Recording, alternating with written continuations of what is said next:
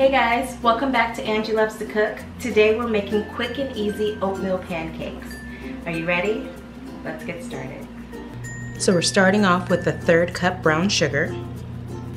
We're gonna add in one whole cup of flour.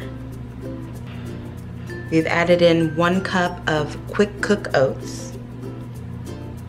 We've added in one teaspoon salt, one teaspoon baking soda dissolved in warm water, one fourth cup melted butter,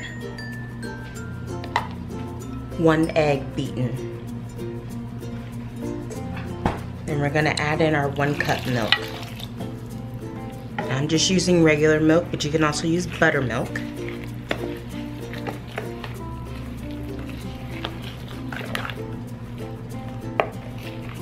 Now we're just transferring our batter into an easy squeeze bottle. And you may ask what an easy squeeze bottle is. All it is is a refurbished salad dressing bottle. And I've cleaned it out completely. And I'm putting the little squeeze hole thing back in there. And that's all that is. Very lightly greased pan, we're gonna go ahead and pour in our batter.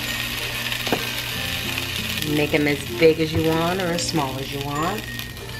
We are on a low to medium heat. And once you start to see little bubbles popping up in the batter, you're gonna go ahead and take your spatula and you're gonna flip it.